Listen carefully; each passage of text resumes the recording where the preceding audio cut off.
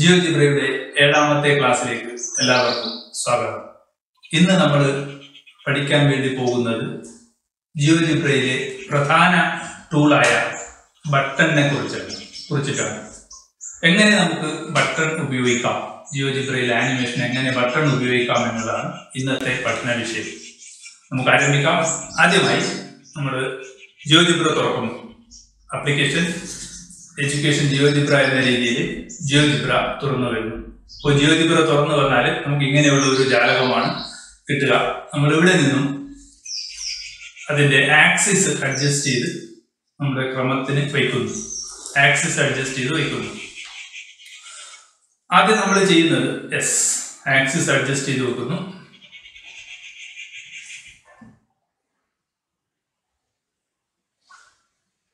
ആദ്യം നമ്മൾ ചെയ്യുന്നത് ഒരു സ്ലൈഡർ ഇൻസേർട്ട് ചെയ്യുകയാണ്. അപ്പോൾ സ്ലൈഡർ എടുക്കുന്നു. സ്ലൈഡർ വേണ്ട ഭാഗത്ത് ഇൻസേർട്ട് ചെയ്യുന്നു. നമ്പർ സ്ലൈഡർ ആണ്. സ്ലൈഡറിന്റെ പേര് എ എന്ന്. മിനിമം സീറോ മാക്സിമം നമ്മൾ ഒരു പത്ത് കൊടുക്കുന്നു. ഒരു ഇൻക്രിമെന്റ് ഒരു point zero one point zero one എന്ന രീതിയിൽ ഒരു ഇൻക്രിമെന്റ് കൊടുക്കുന്നു. സ്ലൈഡർ നിർമ്മിക്കുന്നു. അപ്പോൾ ഇനി ഈ സ്ലൈഡർ നമുക്കൊന്ന് പ്രവർത്തിപ്പിച്ച് നോക്കാം. സ്ലൈഡർ പ്രവർത്തിപ്പിക്കുമ്പോൾ ആൽജിബ്ര ഭാഗത്ത് അതിന്റെ വാല്യൂ ഇങ്ങനെ മാറിക്കൊണ്ടുവരുന്നതായി നമുക്ക് കാണാൻ വേണ്ടി സാധിക്കും. യെസ് അതിന് വേണമെങ്കിൽ നമുക്കൊരു ആനിമേഷൻ കൊടുക്കാം. ആനിമേഷൻ കൊടുത്താൽ ഇതേപോലെ വരും. ഇനി ഇനി നമ്മൾ ചെയ്യുന്നത് ഒരു പോയിന്റ് നമ്മൾ ഒരു പോയിന്റിനെയാണ് ബട്ടൺ ഉപയോഗിച്ച് മൂവ് ചെയ്യിക്കുന്നത്. ആദ്യം നമ്മൾ സ്ലൈഡർ ഉപയോഗിച്ച് മൂവ് ചെയ്യിക്കുന്നു. ആദ്യം നമ്മൾ ഒരു പോയിന്റ് ഡിഫൈൻ ചെയ്യുന്നു അപ്പോൾ എ എന്ന് പറയുന്ന ഒരു പോയിന്റ് നമ്മൾ ഡിഫൈൻ ചെയ്യുന്നു. എ സീറോ അപ്പോൾ പോയിന്റ് എവിടെ കണ്ടു? എ എന്ന് പറയുന്നത് എ സീറോ സ്ലൈഡറിന് കണക്കായ പോയിന്റ് അപ്പോൾ അതിന്റെ ഗ്രാഫിക്സ് വിൻഡോയിൽ നമ്മൾ എന്ത് ചെയ്തു? പോയിന്റ് അതിന്റെ ഗ്രാഫിക്സ് അഡ്ജസ്റ്റ് ചെയ്യുന്നു. അതിനൊരു കളർ പോയിന്റ് വ്യക്തമായി കാണാൻ വേണ്ടി നമുക്ക് ആ പോയിന്റിന് ഒരു കളർ കൊടുക്കും അപ്പോൾ ഇവിടെ നമുക്കൊരു ചുവന്ന കളർ കൊടുക്കാം. അതോടൊപ്പം തന്നെ അതിന്റെ വലിപ്പം അഡ്ജസ്റ്റ് ചെയ്യാൻ വേണ്ടിയിട്ട് നമ്മൾ എന്ത് ചെയ്യുന്നു? പോയിന്റ് ക്ലിക്ക് ചെയ്ത് അതിന്റെ ഗ്രാഫിക്സ് എടുത്താൽ അതിന്റെ വലിപ്പം വർദ്ധിപ്പിക്കാൻ വേണ്ടി സാധിക്കും. വലിപ്പം വർദ്ധിപ്പിക്കുന്നു. എസ് വലിപ്പം വർദ്ധിച്ചു. കാണുന്നില്ലേ? വലിപ്പം വർദ്ധിച്ചു. ഇനി എന്തായി അതിനെ സ്ലൈഡർ ഉപയോഗിച്ച് നമുക്ക് മൂവ് ചെയ്യണം സ്ലൈഡറിന്റെ വാല്യൂ തന്നെയാണ് പോയിന്റിലുള്ളത് എന്നുള്ള കാര്യം പ്രത്യേകം ഓർമ്മിക്കുക. ഇനി സ്ലൈഡർ മൂവ് ചെയ്യുമ്പോൾ നമ്മുടെ പോയിന്റ് മൂവ് ചെയ്യും. എസ് അപ്പോൾ അതിന്റെ ആൽജിബ്ര നോക്കുക. നിരീക്ഷിക്കുക. ഇനി നമ്മൾ അടുത്തതായി ചെയ്യുന്നത് ഒരു ബട്ടൺ അതായത് സ്ലൈഡറിന്റെ നാലാം സ്ലൈഡർ കഴിഞ്ഞ് അടുത്തത് ബട്ടൺ എന്നുള്ള ടൂൾ ക്ലിക്ക് ചെയ്യുന്നു. ബട്ടൺ എന്നുള്ള ടൂളിൽ ക്ലിക്ക് ചെയ്താൽ അതിലൊരു ക്യാപ്ഷൻ വരും. അപ്പൊ നമുക്ക് കൊടുക്കേണ്ടത് ആ ക്യാപ്ഷൻ ആണ് നമുക്ക് അവിടെ ജിയോജിബ്ര വിൻഡോയിൽ കാണുക. അപ്പൊ നമുക്ക് അതിൽ ക്ലിക്ക് ചെയ്യുമ്പോൾ അത് മാറണം വാല്യൂ മാറണം. അതിനായി ക്യാപ്ഷൻ ആനിമേറ്റ് എന്നുള്ള രീതിയിൽ നമുക്ക് കൊടുക്കാം. ആനിമേറ്റ് എന്ന രീതിയിൽ ഒരു ക്യാപ്ഷൻ കൊടുക്കുന്നു. ഇനി ജിയോജിബ്ര സ്ക്രിപ്റ്റിന് താഴെ സ്റ്റാർട്ട് ആനിമേഷൻ എന്ന് നമ്മൾ ടൈപ്പ് ചെയ്യുന്നു. അതായത് ആനിമേഷൻ അവിടെ ക്ലിക്ക് ചെയ്യുമ്പോൾ ആനിമേഷൻ നടക്കണം എന്ന അർത്ഥത്തിൽ സ്റ്റാർട്ട് ആനിമേഷൻ അപ്പോൾ അതിന്റെ വാല്യൂ സ്ലൈഡറിന്റെ വാല്യൂ കൊടുക്കണം. എ അപ്പോൾ നമ്മൾ അവിടെ ക്ലിക്ക് ചെയ്ത് കഴിഞ്ഞാൽ എന്ത് ചെയ്യും? ക്ലിക്ക് ചെയ്ത് കഴിഞ്ഞാൽ സ്ലൈഡർ മൂവ് ചെയ്യുമ്പോൾ ബട്ടണിൽ ക്ലിക്ക് ചെയ്താൽ സ്ലൈഡർ മൂവ് ചെയ്യുമ്പോൾ എന്ത് ചെയ്യും? ഒപ്പം പോയിന്റ് മൂവ് ചെയ്യുന്നത് കാണാം. അതാണ് ആനിമേഷൻ ഇനി ഇത് നമ്മൾ നിർത്തണമെങ്കിൽ തൊട്ട് താഴെ ക്ലിക്ക് ചെയ്യണം. അത് ഒഴിവാക്കാൻ സ്റ്റോപ്പും കൂടി നമ്മൾ ഒരു ബട്ടൺ ഉണ്ടാക്കണം. അപ്പോൾ ഇനി അടുത്തത് ആനിമേറ്റ് എന്ന ബട്ടൺ കൂടാതെ സ്റ്റോപ്പ് എന്ന ഒരു ബട്ടൺ നിർമ്മിക്കുന്നു. അതിനായി ബട്ടണിൽ വീണ്ടും ക്ലിക്ക് ചെയ്യുന്നു വിൻഡോയിൽ ക്ലിക്ക് ചെയ്യുന്നു. ക്യാപ്ഷൻ സ്റ്റോപ്പ് എന്ന് കൊടുക്കുന്നു. സ്റ്റോപ്പ് ഇനി അതിന്റെ സ്റ്റാർട്ട് ആനിമേഷൻ ആണ് നേരത്തെ കൊടുത്തത്. ഇപ്പോൾ സ്റ്റാർട്ട് ആനിമേഷൻ ഫാൾസ് ആകണം അങ്ങനെ പറയാം. സ്റ്റാർട്ട് ആനിമേഷൻ ഫാൾസ് അതായത് ആനിമേഷൻ ഉണ്ടാവാൻ പാടില്ല. ആനിമേഷൻ സ്റ്റോപ്പ് ആക്കണം. അതാണ് സ്റ്റാർട്ട് ആനിമേഷൻ ബ്രാക്കറ്റ് ഫോഴ്സ് അതൊരു ഫംഗ്ഷൻ ആണ് അതുകൊണ്ടാണ് അങ്ങനെ ചെയ്തത്. ഓക്കെ ക്ലിക്ക് ചെയ്തു. സ്റ്റോപ്പ് എന്ന് പറയുന്ന ഒരു ബട്ടൺ വന്നു. ഇനി നമ്മൾ അതൊന്ന് പ്രവർത്തിപ്പിച്ച് നോക്കാം. ആനിമേറ്റ് പ്രവർത്തിപ്പിച്ചാൽ ഇതാ മൂവ് ചെയ്യുന്നു. സ്റ്റോപ്പ് ബട്ടൺ ക്ലിക്ക് ചെയ്താൽ നിൽക്കുന്നു. ആനിമേഷൻ ക്ലിക്ക് ചെയ്താൽ മൂവ് ചെയ്യുന്നു. സ്റ്റോപ്പ് ബട്ടൺ ക്ലിക്ക് ചെയ്താൽ അത് നിർത്തുന്നു. ഇപ്പൊ ഇങ്ങനെ.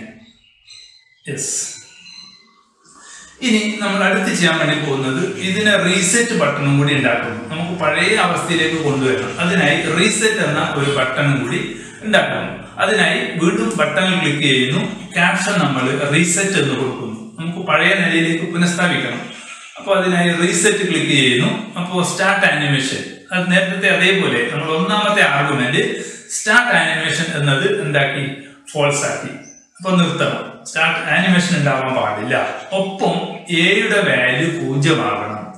എക്സെപ്റ്റത്തിലെ എയുടെ വാല്യൂ പൂജ്യമാകണം. അപ്പോൾ എ ഈക്വൽ സീറോ രണ്ടാമത്തെ argument start animation false A equal zero ഇങ്ങനെയാണ് എഴുതുക. ഓക്കെ ക്ലിക്ക് ചെയ്യുന്നു. അപ്പോൾ മൂന്ന് ബട്ടൺ നമ്മൾ ക്രിയേറ്റ് ചെയ്ത് കഴിഞ്ഞു. ആനിമേറ്റ് സ്റ്റോപ്പ് റീസെറ്റ് ഇനി നമുക്കൊന്ന് വർക്ക് ചെയ്ത് നോക്കാം. ആനിമേറ്റ് വർക്ക് ചെയ്യുന്നു. റീസെറ്റ് ചെയ്തു. എസ് ആനിമേറ്റ് വീണ്ടും വർക്ക് ചെയ്യിച്ചു. സ്റ്റോപ്പ് ചെയ്തു. സ്റ്റോപ്പ് ചെയ്യുന്നു. റീസെറ്റ് ചെയ്യുന്നു. യെസ് റീസെറ്റ് ചെയ്തു. അപ്പോൾ മൂന്ന് ബട്ടൺ ഓക്കെ ആണ്. അപ്പോൾ നമുക്കിത് ശരിക്കും പ്രവർത്തിപ്പിച്ച് നോക്കാം. ഇതാണ് ബട്ടണെ കുറിച്ചിട്ടുള്ള ഒരു ഒരു വേഗ ഐഡിയാസ് ഇനി ഈ ബട്ടൺ ഒന്ന് ക്ലിയറായി സെറ്റ് ചെയ്ത് ഒക്കെ വെക്കണം. വേണ്ട രീതിയിൽ നമ്മൾ ക്രമീകരിച്ച് വയ്ക്കണം. യെസ്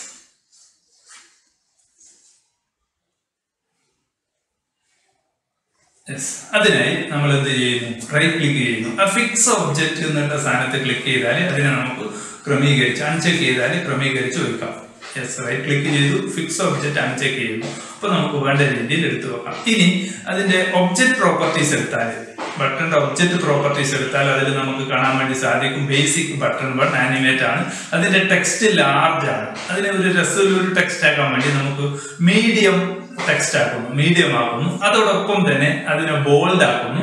അതോടൊപ്പം അതിന്റെ കളറ് നമ്മൾ മാറ്റുന്നു. നല്ലൊരു കളർ അനുയോജ്യമായ ഒരു കളർ നമ്മൾ എടുക്കുന്നു. ഇവിടെ ഞാനൊരു ഒരു റെഡ് കളർ നീല വേണം നീല എടുക്കാം റെഡ് കളർ എടുക്കുന്നു. അതല്ലേ താഴെ നോക്കുക ഫോർഗ്രൗണ്ട് കളർ ഉണ്ടാവും. ഫോർഗ്രൗണ്ട് കളർ ക്ലിക്ക് ചെയ്ത് കഴിഞ്ഞാൽ ടെക്സ്റ്റിന്റെ കളർ മാറ്റും. ബാക്ക്ഗ്രൗണ്ട് കളർ മാറ്റിയാൽ അതിന്റെ ബോഡിന്റെ കളർ മാറും. ഓക്കെ അപ്പോൾ നമുക്കൊരു ഒരു പച്ച കളർ ലൈറ്റ് ഗ്രീൻ കളർ കൊടുക്കാം. അപ്പോൾ അത് മാറി വീണ്ടും ഫോർഗ്രൗണ്ടിലേക്ക് മാറ്റി. അപ്പോൾ അതിന്റെ ബട്ടൺ കാണാൻ ഒരു രസമുള്ള രീതിയിലേക്ക് അത് മാറി. ഇനി നമ്മൾ സ്റ്റോപ്പും അതേപോലെ ചെയ്യുന്നു. റൈറ്റ് ക്ലിക്ക് ചെയ്തു ഫിക്സ് ഓബ്ജക്റ്റ് ക്ലിക്ക് ചെയ്തു അൺചെക്ക് ചെയ്തു. അപ്പോൾ അതിനെടുത്ത് മാറ്റി വീണ്ടും അതിനെ വേണമെങ്കിൽ ഉറപ്പിക്കാം. ഫിക്സ് ഓബ്ജക്റ്റ് റൈറ്റ് ക്ലിക്ക് ചെയ്താൽ ഫിക്സ് ഓബ്ജക്റ്റ് ചെക്ക് ചെയ്താൽ വീണ്ടും അത് എന്തില്ല അത് പിന്നെ മാറില്ല. അപ്പം വീണ്ടും അതിന്റെ ഒബ്ജക്റ്റ് പ്രോപ്പർട്ടീസ് എടുത്തു. നേരത്തെ ചെയ്ത അതേപോലെ ഫോർഗ്രൗണ്ട് ബാക്ക്ഗ്രൗണ്ട് കളർ ഒക്കെ മാറ്റി. അപ്പോൾ ടെക്സ്റ്റ് കളർ ചുവപ്പ് റെഡ് കളറാക്കി അതിനെ ലാർജ് ഐക്കണിൽ അത് മീഡിയം ഐക്കണാക്കി ബോൾഡ് ആക്കി പിന്നെ അതിന്റെ ബാക്ക്ഗ്രൗണ്ട് കളർ കളർ വീണ്ടും ക്ലിക്ക് ചെയ്ത് ബാക്ക്ഗ്രൗണ്ട് ഒരു ഒരു ഇഷ്ടമില്ല ഒരു അനുയോജ്യമായ ഒരു കളർ സെലക്ട് ചെയ്തു. നമ്മൾ എസ് ഇവിടെ ഒരു മജന്റ ടൈപ്പ് ഒരു കളർ നമ്മൾ ക്ലിക്ക് ചെയ്യുന്നു. ഓക്കെ യെസ് അത് ക്ലോസ് ചെയ്തു. വീണ്ടും ക്ലോസ് ചെയ്തു. ഇനി അടുത്തത് അടുത്തതായി നമുക്ക് വേണ്ടത് റീസെറ്റും ഇതേപോലെ ശരിയാക്കണം. അപ്പോൾ റീസെറ്റും റൈറ്റ് ക്ലിക്ക് ചെയ്തു. ഫിക്സ് ഒബ്ജക്റ്റ് മാറ്റി വേണ്ട രീതിയിൽ എടുത്തു വെച്ചു. നമ്മൾ റൈറ്റ് ക്ലിക്ക് ചെയ്തു. അതിന്റെ പ്രോപ്പർട്ടീസ് എടുത്തു. യെസ് പ്രോപ്പർട്ടീസ് എടുത്ത് ഒബ്ജക്ട് പ്രോപ്പർട്ടീസ് എടുത്താൽ എന്ത് ചെയ്യും? അതിന്റെ കളർ നേരത്തെ ആദ്യം ചെയ്ത അതേപോലെ അതിന്റെ കളർ മാറ്റാം. അതിന്റെ ടെക്സ്റ്റ് കളർ മാറ്റാം. ബാക്ക്ഗ്രൗണ്ട് കളർ മാറ്റാം. അതേപോലെ അതിന്റെ വലിപ്പവും നമുക്ക് ക്രമീകരിക്കാവുന്നതാണ്. യെസ് ഓക്കെ ചേഞ്ച് ചെയ്ത് ക്ലോസ് ചെയ്തു. യെസ് ടെക്സ്റ്റ് എടുത്തു. മീഡിയം ടെക്സ്റ്റ് എടുത്തു. അതിന്റെ സൈസ് അഡ്ജസ്റ്റ് ചെയ്തു. ബോൾഡ് ആക്കി. ഇതൊക്കെ വേണമെങ്കിൽ ചെയ്താൽ മതി. അപ്പോൾ ഇത് ഒരു സ്റ്റൈലിന് വേണ്ടി ചെയ്യുന്നത് മാത്രമാണ്. ഇനി ഇതൊന്നും നമുക്ക് ഫിക്സ് ഒബ്ജക്റ്റ് ചെയ്താൽ അതിനെ വീണ്ടും മാറ്റാം. വേണ്ട രീതിയിൽ ക്രമീകരിച്ച് വെക്കാം. അതിന് നമുക്ക് അനുയോജ്യമായ സ്ഥലത്ത് അതിനെ ക്രമീകരിച്ച് വയ്ക്കാവുന്നതാണ്. യെസ്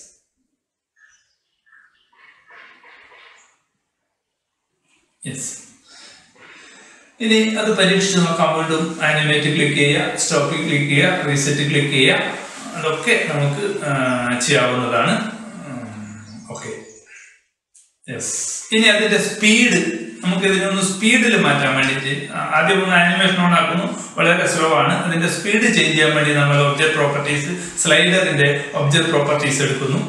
സ്ലൈഡറിന്റെ ഒബ്ജക്ട് പ്രോപ്പർട്ടീസിൽ നമ്മൾ നേരത്തെ മനസ്സിലാക്കിയ കാര്യമാണ്. അത് സ്പീഡ് ഒരു നാല് മടങ്ങ് വർദ്ധിപ്പിക്കുന്നു. യെസ് ഒബ്ജക്ട് പ്രോപ്പർട്ടീസ് എടുത്തു. അതിന്റെ സ്പീഡ് കണ്ടില്ല? ഒന്ന് എന്താകുന്നത് അവിടെ. സ്പീഡ് നാലാക്കുന്നു. അപ്പോൾ അതെന്താക്കി? അതൊരു നാലാക്കുന്നു. ക്ലോസ് ചെയ്യുന്നു. അപ്പൊ നമുക്ക് എന്തായി നമ്മുടെ പോയിന്റ് വളരെ സ്പീഡിൽ മൂവ് ചെയ്യുന്നു. എസ് ആനിമേഷൻ കൊടുത്തു കഴിഞ്ഞാൽ കാണാൻ വേണ്ടി സാധിക്കും. പോയിന്റ് വളരെ സ്പീഡിൽ മൂവ് ചെയ്യുന്നതായി കാണാൻ വേണ്ടി സാധിക്കും. ഇനി സ്റ്റോപ്പ് കൊടുത്തു റീസെറ്റ് കൊടുത്തു യെസ് എല്ലാം വർക്കിംഗ് ആണ് ഇതാണ് ഒരു ബട്ടണെ കുറിച്ചിട്ടുള്ള ഒരു ബേസിക് ഐഡിയ ഇത് ഉപയോഗിച്ച് നമുക്ക് വേണ്ട രീതിയിൽ ഇതിനെ അപ്ലൈ ചെയ്യാവുന്നതാണ്. നിങ്ങൾക്ക് കാര്യങ്ങൾ മനസ്സിലായി എന്ന് വിചാരിക്കുന്നു. പ്രാക്ടീസ് ചെയ്യണം. അതോടൊപ്പം തന്നെ ആദ്യ ക്ലാസ്സുകളെല്ലാം കാണുകയും വേണം. അതോടൊപ്പം സംശയമുണ്ടെങ്കിൽ ചോദിക്കാം. പുതിയ ആശയവുമായി നമുക്ക് വീണ്ടും കാണാം. Till then good bye